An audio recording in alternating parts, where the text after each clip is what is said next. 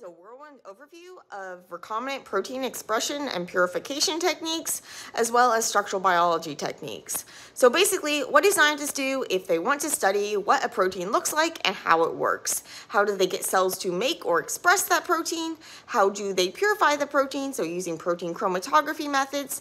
And then how do they actually use structural biology methods like X-ray crystallography and cryo-EM in order to figure out what the protein looks like. And then how can they do biochemical assays and stuff to figure out how what it looks like corresponds to how it functions. So the connection between form and function, the heart of structural biology. Going back to our central dogma of molecular biology, we know that the instructions for making a protein are written in the form of a DNA gene that then gets transcribed to make a messenger RNA copy that gets translated to make a protein. Because of the universal nature of the genetic code, we can stick that same instructions for that protein into any type of cells and hopefully get them to make the right protein. A little technical detail is that when you go from a um, gene to an RNA, initially when you transcribe it, you kind of transcribe a bunch of information that isn't needed by the ribosomes. It's not needed to make the protein. Um, it's extra information like regulatory information, introns, things like this. And so what happens is you get some editing to get a mature messenger RNA.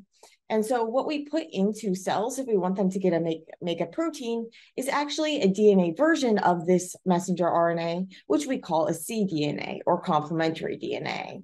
We often just refer to this as a gene, but technically it's not a gene, it's a cDNA. We can then stick the cDNA into um, a vector. So a vector is going to serve as a vehicle for getting this, these genetic instructions into cells.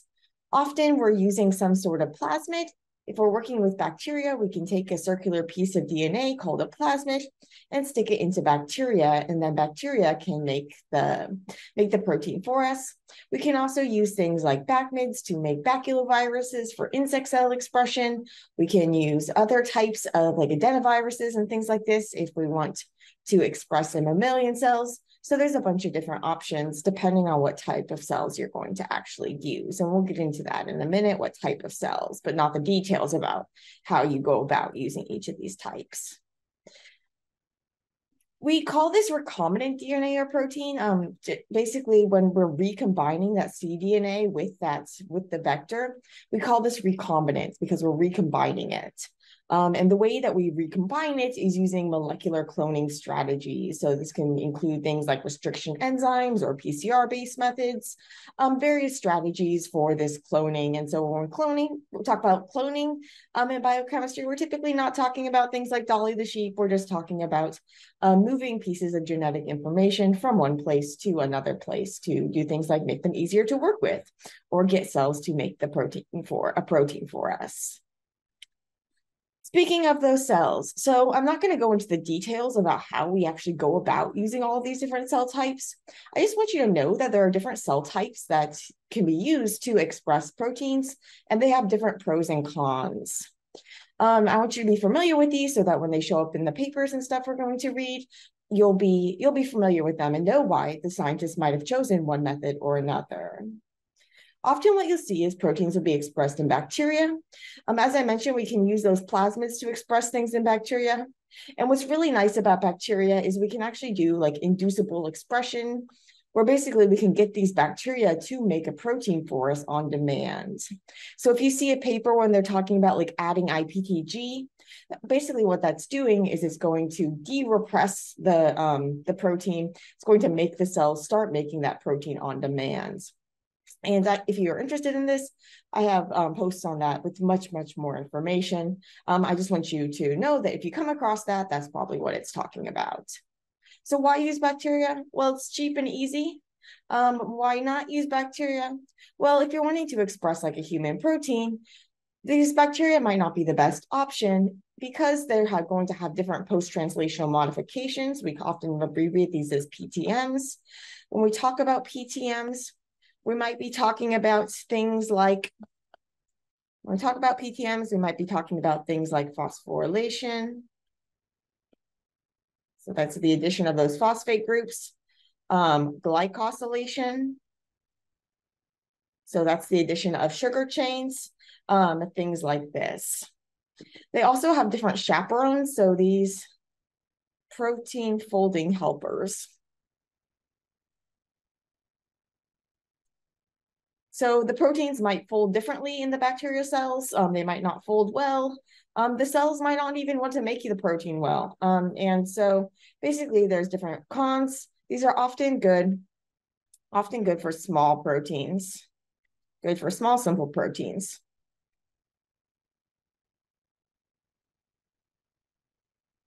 But they can have trouble when you're dealing with bigger things or you or you have post-translational modifications you want to care about. In those cases, you might want to choose something that's more um, that's more mammalian-like or human-like, or at least more eukaryotic. And so the next um, step up is kind of like yeast cells. These are again going to be cheap and easy-ish, but they have some cons. They're hard to lyse, and they're still very different from animal cells one another method that's commonly used is going to be insect cells or the baculovirus system. So you might see things like SF9, that's a cell line, um, or you might see things like high five, see things like SF21, and you don't need to know all these names. Um, just if you if these show up, that's what this is referring to. So I used insect cell expression a lot in my um, grad school days. Basically, it's more similar to us in terms of its modifications and chaperones. It's easily manipulatable and it's easiest to scale up. Um, but it is a lot of work to maintain and it's more expensive than those bacteria as to how it works. Basically, you can use bacteria to make a virus that can only infect insect cells, and then you infect those insect cells and get them to make a lot of your protein. So it's a cool system, works well. It's helpful that you can do a lot of the work in the bacteria, but then you have to switch to the insect cells, um, and there's a lot of maintenance. Not as much maintenance though as the mammalian cells. So for the mammalian cells, we're dealing with things like um, CHO cells, Chinese hamster ovary, um, XB Freestyle 293, which are GK cells. These are going to be most similar to humans, so they're going to have similar modifications, similar chaperones, etc. But they're going to be very pricey um, and high maintenance and things like this. Um, and to actually express from those, then you typically have some sort of, um, you have to transfect them with various lipid reagents or use a viral vector system. There's various ways. Um, but basically know that those are going to be the most human-like, the most expensive, um, and that sort of thing. So again, you don't need to know the details of all of these. Just when we're doing our paper reading discussions, I want you to be able to um, to recognize when these show up in your paper, so that you're knowing what where to go to find more information. Um, but you're not going to be responsible for um, for knowing for knowing the names of all of these different things. This is just for for the paper discussions things. Another thing that's going to show up in your paper discussions is you might see codon usage optimization. Um, basically, there's different codons, um, basically amino acid, um, the amino acid transferers that come and connect the, read the messenger RNA and bring in the corresponding amino acid. There are multiple ones that can kind of do the same job and the cells might have more than one than the other.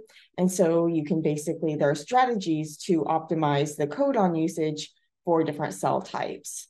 Again, you don't need to know the details of all of this, but it is going to show up in some of your papers. And so this is what it's referring to. And then you can go find out more if you're interested.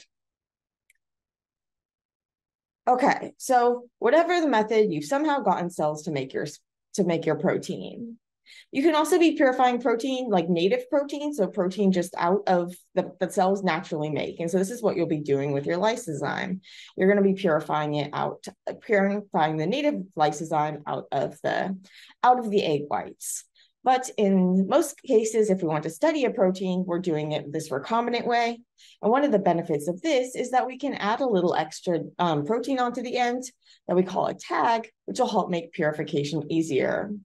So remember that because we're putting in the genetic instructions, if we add a little bit more DNA on the end, well, now we're going to get a little more protein on the end. And if we get that little more protein on the end, and then we can use that as like an affinity tag, um, basically a way where we can capture the protein, wash everything else away, and then um, and then elute or push off our protein in a purified form. So then what we do is we get these proteins to make, we get the cells to make our protein, we break the cells open, um, we separate the soluble stuff from the insoluble stuff, and then we can use various forms of protein chromatography in order to purify our protein. Basically with this chromatography, we have these um, columns which can which are filled with these resin, these little beads, and these beads have different properties that are going to interact differently with different proteins. And in this way, we're able to run a solution containing proteins through them. The different proteins will interact differently. So they'll get stuck on the column or they won't get stuck on the column or they'll go slower through the column or they'll go faster through the column. And in this way, we're able to separate proteins to isolate the one that we want. We'll talk a lot more about chromatography in a minute, but first I just want to step back and say something about um, about one more one more detail about the expression and the purification strategy. In most cases, what we're going to be dealing with is we're going to be dealing with water-soluble proteins. But in some cases, including in the examples we're going to use, some of the examples we're going to use, you're dealing with a membrane protein. Now, membrane proteins are more complicated because when you go and you break open those cells, well, the membrane proteins are going to be in with the membrane bits. Um, and so you wouldn't want to then go throw away that pellet and use the supernatant, the liquid on top. Instead, what you have to do is you have to actually isolate the proteins from that membrane. One way that is commonly used is to use detergent. So basically the lipid that the membrane proteins are embedded in, it has it's amphiphilic. It has both hydrophilic parts and hydrophobic parts. So it's got hydrophobic tails and hydrophilic heads. And what happens is these phospholipids, they're going to form these bilayer membranes that the protein will be embedded in. Another type of amphiphilic molecule is a detergent, which is basically just an artificial soap if you add a detergent to water, well, instead of forming those bilayer membranes, it actually forms these like single layer bubble-like micelles. Um, and it does this because they have a different shape. So the phospholipids, these are more going to be like rectangular. So they can't form a micelle very easily, but they can form those bilayers. Whereas a detergent, here you're more like conical, and so you can form these micelles so you can use a detergent because it's still that amphiphilic nature. It can kind of get into, um, wiggle its way into that phospholipid membrane and it will disrupt it. And then if you have enough of the detergent, it will actually um, make micelles that will incorporate, um, incorporate the membrane protein into them. So that's one strategy you can use to actually purify the membrane proteins, the whole length thing um, in their original form. You can also do things like just express parts of it. So basically, if you look at a membrane protein, it often has three different parts for when we're talking about a membrane protein that actually goes all the way through. So when we talk about membrane proteins, we'll see that there's some that go all the way through. There's some that kind of just hang out on one side or the other um, and things like this. We can talk about these proteins as having different domains. So remember our domains are like our rooms in our house. Um, and so basically there are several different rooms in, in a membrane protein. You can have the ectodomain. And so remember the ectodomain, this is going to be facing the outside of the cell, um, ecto outside. Um, and so then you have the transmembrane domain, the trans through is going through the membrane. And then you have the endodomain, so the part that is actually inside of the cell. Um, so this is going to be inside of the cell and outside of the cell. Now, if you think about what's inside the cell and what's outside the cell, well, outside the here, you're going to have water, a watery environment over here, and then you're going to have a lipid environment in the middle. So the part of the protein that goes through that lipid is going to be hydrophobic, but the parts on the outsides and on the inside, um, like of the cell, are going to be hydrophilic. When cell when proteins are hydrophilic, well, then we can then purify them just like normal pro soluble proteins. So what we can do is because we're actually, um, we can manipulate that DNA sequence, we can manipulate the genetic instructions, we can actually just express those domains separately. So alternative, express only ecto or endo domain. So of course, when you do this, well, now you're losing a lot of the protein, you're losing a lot of the information. Um, but if you're doing things like studying binding to the ectodomain, then this can be an okay strategy in a lot of cases. Okay, so going back to our story, we basically, we're dealing with a recombinant protein. We've stuck it in, we've added a little bit extra onto the end to serve as a tag, and now we're gonna go and purify it. And again, we're gonna purify it using chromatography. So when we do chromatography, you'll see a couple of different um, methods used. So we can either be doing things in like gravity flow. Um, so gravity flow, where you basically pack your own columns. So you fill these columns with resin and there's all sorts of different size columns you can use. Or we can use a machine. Um, so commonly this like this is like an Acta, that's just like a brand name. Um, and here it's actually going to use pumps to push the liquid through, um, through the columns.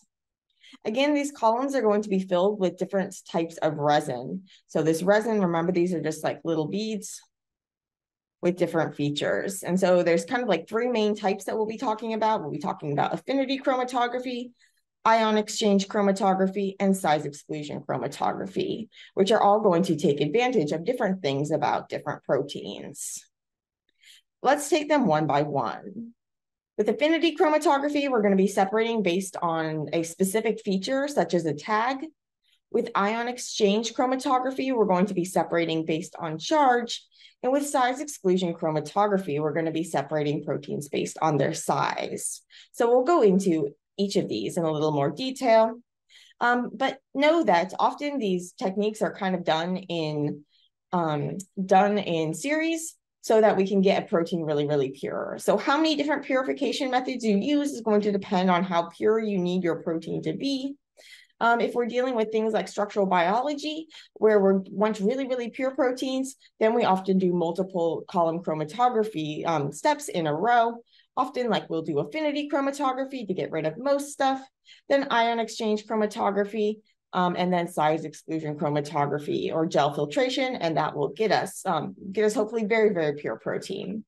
But often we'll just be doing, um, for just like the quick and easy, dirt, quick and dirty method, we'll be doing affinity chromatography. And so let's start there. The reason why we want to start with affinity chromatography is basically it's going to be the most specific. So affinity chromatography, what happens here is that your protein has some specific feature that's kind of unique to it. And so most classically, this is going to be one of those um, one of those protein tags, those affinity tags that we stick onto our protein when we're when we're doing that recombinant expression, when we're doing that cloning. We just stick a few extra amino acids onto the end, and then we can use resin that has a um, that has a group attached to it that can actually bind specifically to that specific sequence. So because lots of people put the same specific sequence onto their protein, these companies will then sell this stuff cheaply, where you're relatively cheaply, still pretty expensive, um, but it's cheaper than having to kind of design something that would bind to every single pro different protein. If you can design something to bind to that little tag that people add onto their protein. And so a couple of the common tags are going to be like a his tag or a strep tag. And then these affinity chromatography beads, they'll have kind of like the matching group for that. Now what's going to happen is when you flow your protein with that tag through the um, through the column, your protein is going to stick, but that other stuff is not. And so then you can kind of wash all that other stuff off while your protein is stuck to the column and then you can add a competitor to kind of um, compete off your protein. So you add something that looks like the tag or the tag itself or whatever, um, and then this will push off the, your protein and allow you to get a pure protein in the absence of all of that stuff that you washed off. So again, a couple examples are his tag. So a his tag is just six to eight histidines in a row. Um, and it's going to bind metal coated resins. Um, so some often what you'll see is you'll see like nickel NTA. Um, and things like this. You might also see like talon, which is, I think that's, that one is um, cobalt. There's various different metals that are used. And so histidine we'll look at later, it's going to be very good at coordinating metals. Um, and so histidine, if you put a bunch of them in a row, it's going to be able to bind to, bind to that column. Then what you do is basically once it's bound, then you wash all that other stuff off and then you push it off with this, in this case, imidazole, which is going to act as a competitor. And imidazole is basically just that side chain part of histidine. Another one you'll come across is a strep tag. This is going to bind streptactin resin, which is a streptavidin mimic, um, in the same place as biotin and desthiobiotin.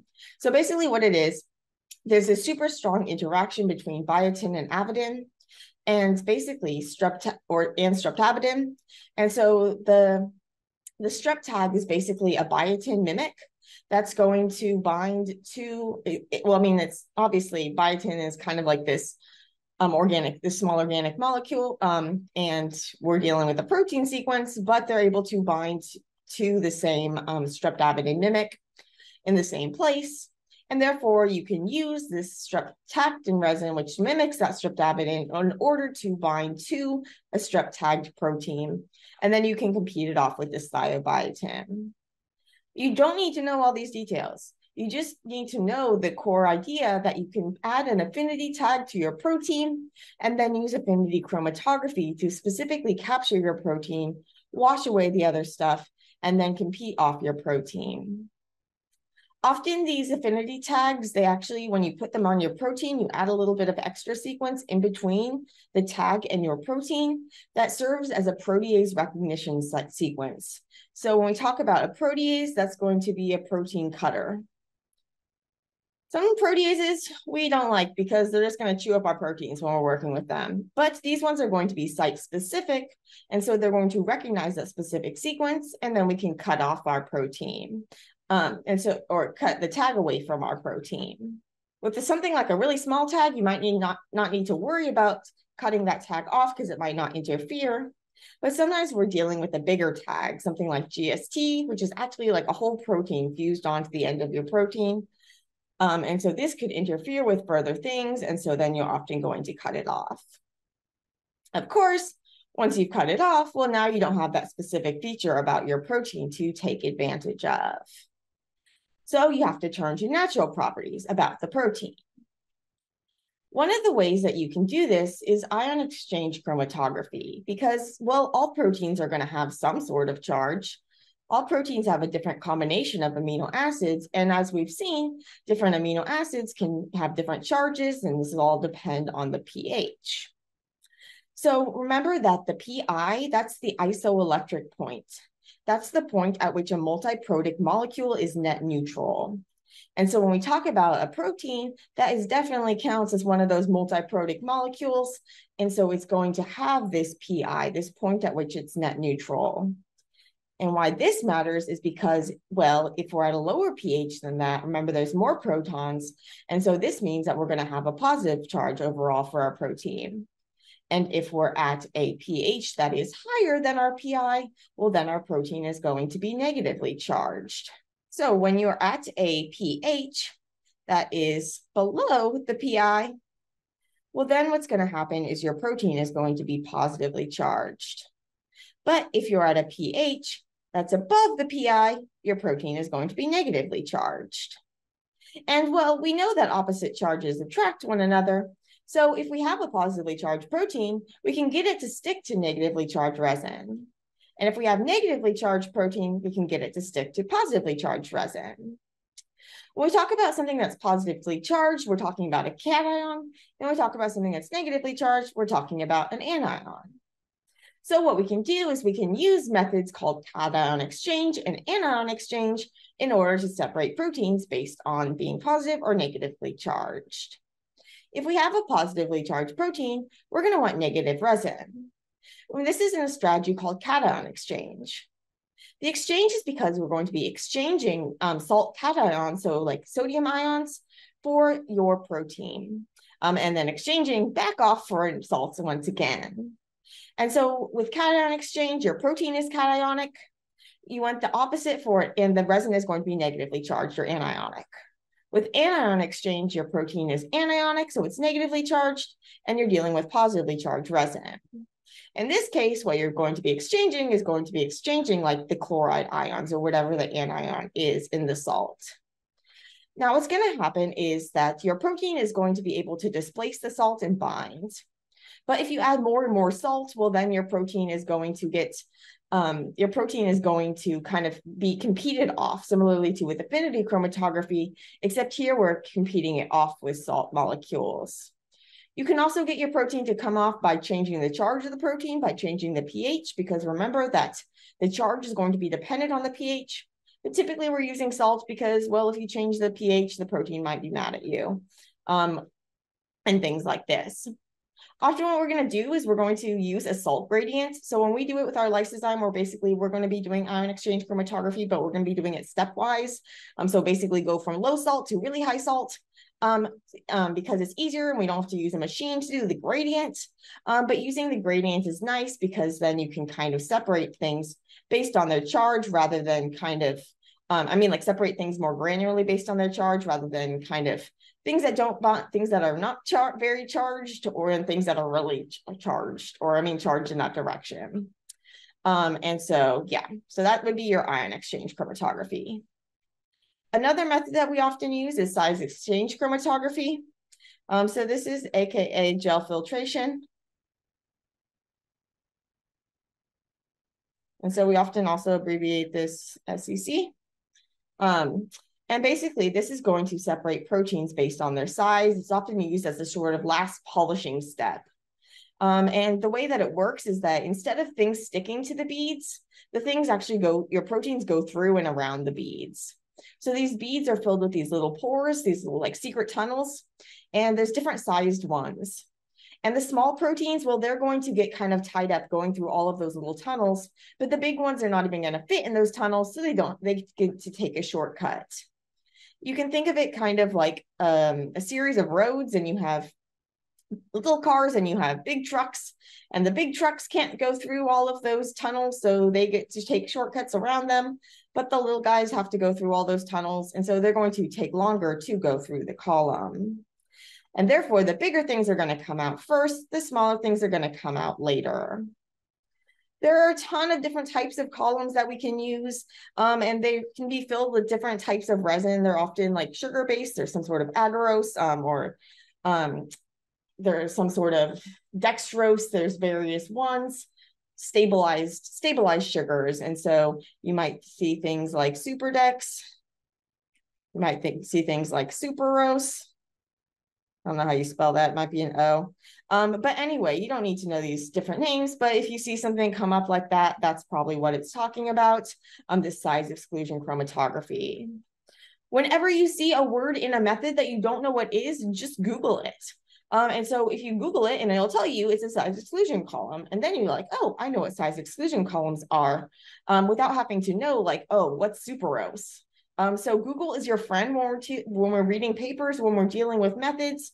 Um, that's where you're often going to go in order to find the basic information about like what the brand name you're looking at is actually referring to. Um, but then I want you to know basically the idea with size exclusion chromatography is that you're going to be separating proteins based on their size. You might see this in preparative, which is what we've been talking about here, which is when you're actually purifying a protein. Um, people also use it for like analytical purposes where you use a smaller column and you're trying to see if proteins are sticking to one another because if they stick to one another, they're going to be bigger. Um, and so they travel together, they're going to come out sooner. Um, so I think we're going to look at some examples of that as well later. Um, but that would be your size exclusion chromatography. And that's often done as a polishing step for structural biology purposes. So structural biology is the field of biology that explores the interplay between biomolecular form and function. So remember, we've been talking lots and lots about how the protein sequence is going to determine how the protein folds, and that's going to determine how it functions.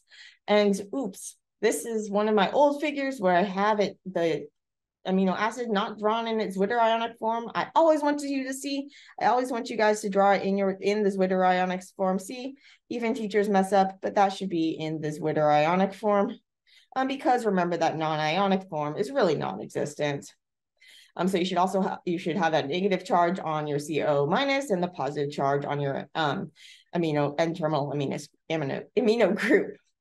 Okay, so basically structural biology, we're going to explore the connection between that form and that function.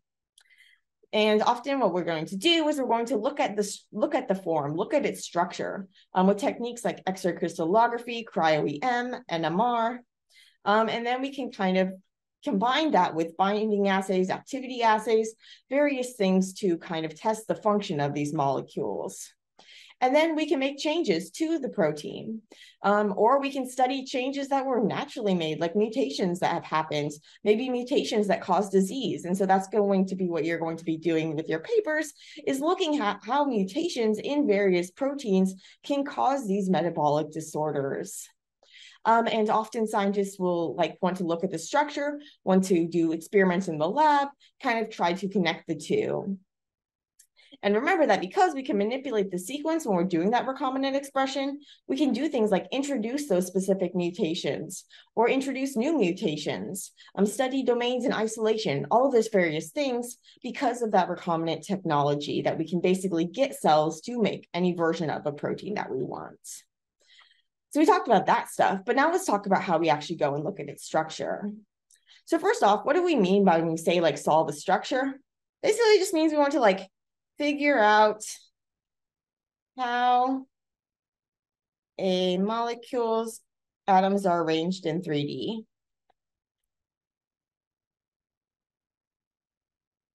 So remember our primary sequence, that's just our sequence of amino acids.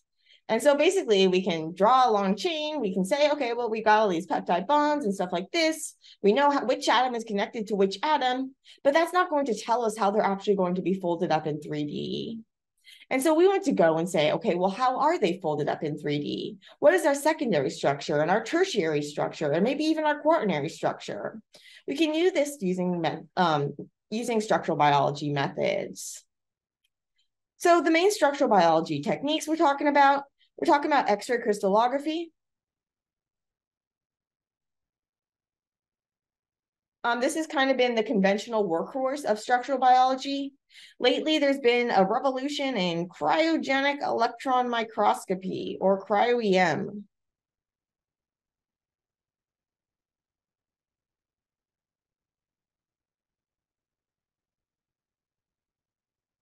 Um, it's been like this revolution. There's been a bunch of advancements in the technology. Originally, it was only good for like really big things, but they're starting to get down where it's also um, being able to be used for smaller protein structures as well as structures of complexes and things like this.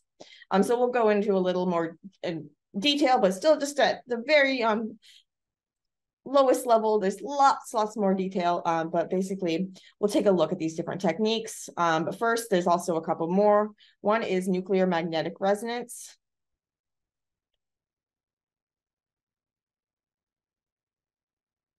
Or NMR. Abbreviated NMR. Um, which is good for small, little, little small flexible things and then there's going to be kind of um, computational methods. So you're going to see things like AlphaFold, RoseTTAFold, etc. And so we're talking about like AI, machine learning, all this various things. Um, there's also like molecular dynamics and things like this. So lots of different techniques that you can do on the computational side. Um, but then these you have these, which are going to be um, experimentally determined. And so that's going to be like actual wet work. Okay, so those two main ones that you'll see these days are going to be X-ray crystallography and single particle cryo-EM. So we're distinguishing single particle. Um, when we talk about a particle, basically that's just like that could be your protein, that could be a protein complex. It's the thing that you want to, you're trying to get a look at. Um, and so there's also methods like um, for for electron microscopy that are not single particle that are basically looking at like tomography or basically like slices of cells um, things like that. There's some really cool stuff going on in those fields but we're going to be focusing mostly on the single particle.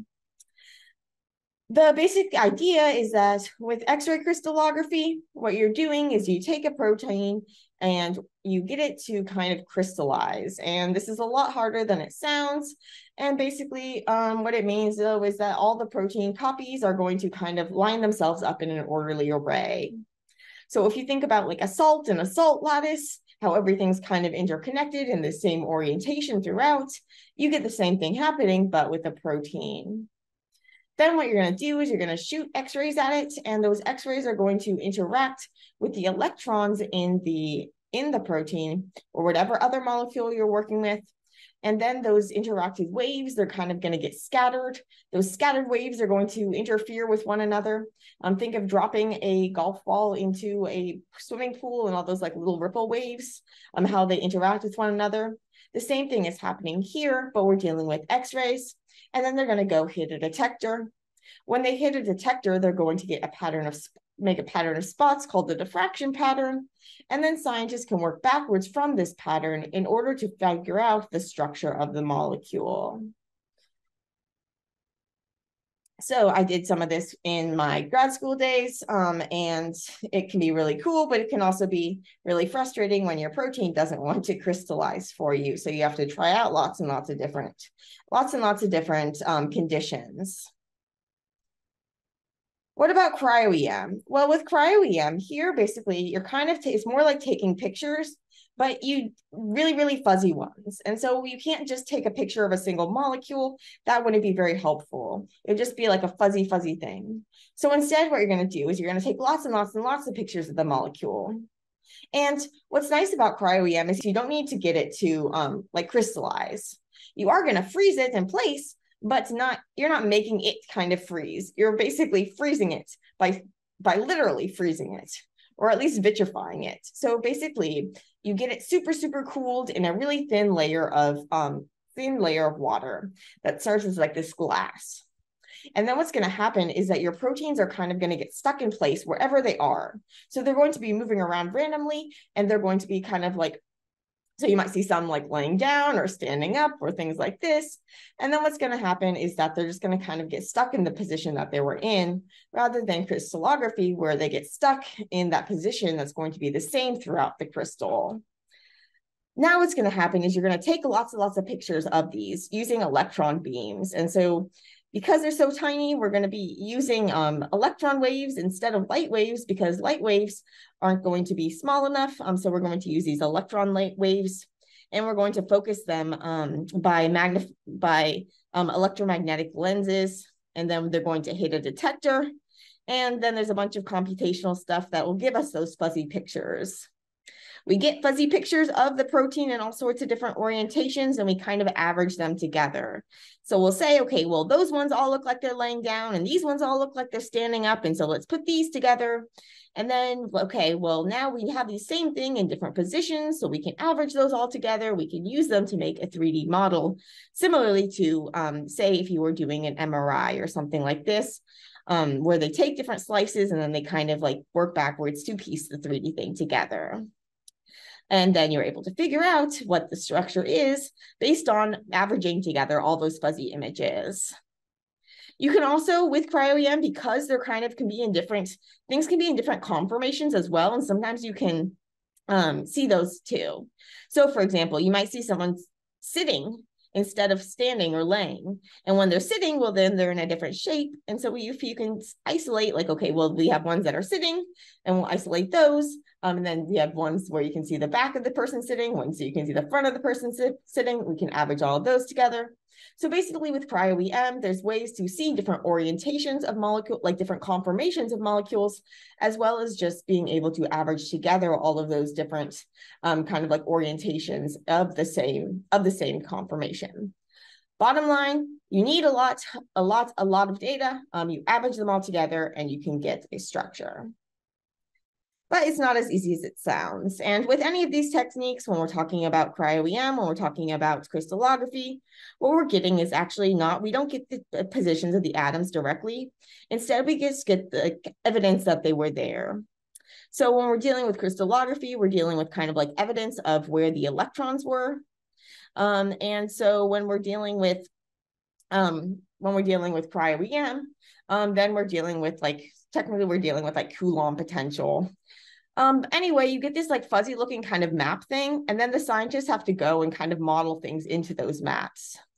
So when we go and we look at structures, what we're looking at is actually a structural model where they're modeling in the positions of the atoms into that data.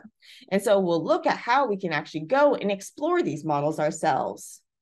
The easier, the higher the resolution of the data, kind of like the less fuzzy it is, and the crisper the um, the crisper the maps are going to be, the easier it is to fit in the model. So when we talk about resolution, a high resolution is going to have little numbers. So high resolution, little numbers. Low resolution, high numbers. High resolution is going to be good. Low resolution is going to be bad, which you can probably um, guess based on if you think about a high res TV versus a low res TV, you want that high res, right? Well, resolution is referring to how close two things can be while you can still kind of like tell the two different things. And so the smaller the number, the um the closer things can be where you can still tell them apart. So it's like if you have two dots far away, can you tell that they're two dots or do they just look like one dot? Um, and basically the better your eyesight, the closer those dots can be and you can still see that they're two different things. So similarly, the higher the resolution of our data, the more easy the easier we can kind of say okay well yes this is there's an atom here there's an atom here there's an atom here versus oh there's some sort of sausagey thing we'll have to fit things into. Um, so that's what you'll see when we talk about resolution and we're typically dealing in terms of angstrom which remember is a 0.1 of nanometers What's really great about structural biology for the outsider is that all of the structures and the experimental data behind them, like their maps and stuff, have to be deposited so that anybody can go and look at them. And they get deposited into this thing called the Protein Data Bank or the PDB. You can find all sorts of information about how the scientists solved it. You can actually go and explore the structure. You can check out different features about it. And so we'll be looking at the PDB and they have some great educational resources. So check out um, PDB 101 for more, for more info on it, on how to use the PDB, as well as more info on structural biology. Another technique is nuclear magnetic resonance. So this is going to be good for small, flexible. What happens with structural, with um, crystallography and with cryo-EM is that basically there can be regions of the protein that don't resolve. So you don't actually get maps for those regions. The part of the protein is actually there, but the data is too fuzzy. So you can kind of think of it all averaging out. Um, it's all blurring each other out, canceling each other out. And so you're not going to see those regions that are flexible. But with uh, with NMR here, it can actually use those flexible regions, but it only can do deal, deal with small things. Um, but they're going to be like randomly moving around and what you actually get is some sort of ensemble. And so you can check out the video if you want to learn more about this. The PDB has a little video explaining it, um, but we don't need to worry about NMR um, for the purposes of our class. Um, the other thing you'll hear a lot about is like these AI and machine learning, various ways to predict structures. And you'll actually see that in UniProt, so it's going to be the protein database we'll look at. Um, basically there you can actually see predicted structures as well. Um, so there are limitations, like if you want to look at complexes, if you want to look at regions of proteins that don't have structures that are like known structures kind of, or regions that are kind of um, more flexible, if you want to look at modifications, there's various limitations to these prediction mod algorithms, but they often can be helpful for structural biologists to kind of like get an idea of what a protein looks like and maybe even use it to help make their models. So there's various things like this um, that you'll probably hear about lots. So that's the basic idea. We can basically get cells to make a protein for us using recombinant expression techniques. Then we can break those cells open and then we can take a mixture that was from the broken open cells and we can use protein chromatography to separate the proteins in that mixture based on how they do or don't interact with various resin. Um, so these little beads that we have in these columns. Then scientists can use structural biology techniques if they want to go and take a look at it. They can also use um, biochemical assays and things like this to study the functions of the proteins that they purified.